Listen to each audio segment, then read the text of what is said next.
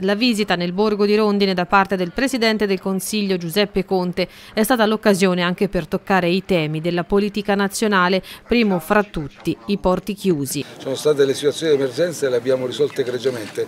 Quest'ultima adesso mi sta aggiornando anche lei, adesso mi aggiornerò eccetera, seguiremo anche questa.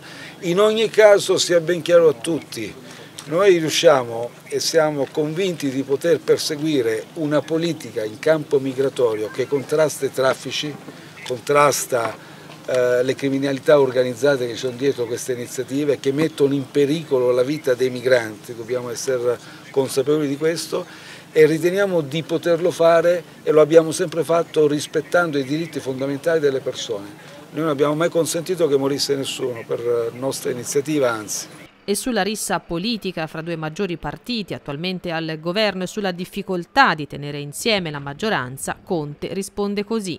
No, ma guardate, sono cose prospettive completamente diverse ovviamente, comprendo la, la battuta e la provocazione. Eh, in realtà qui siamo di fronte a una competizione elettorale che ha assunto, lo riconosco anch'io, dei toni eh, molto vivaci. Eh, il 27 maggio vedrete assolutamente un clima completamente diverso. In questo momento tutti i leader di tutte le forze politiche sono impegnati ovviamente nella conquista dell'elettorato, nella persuasione del rispettivo elettorato e quindi è chiaro che questo è l'obiettivo in questo momento prioritario per una forza politica.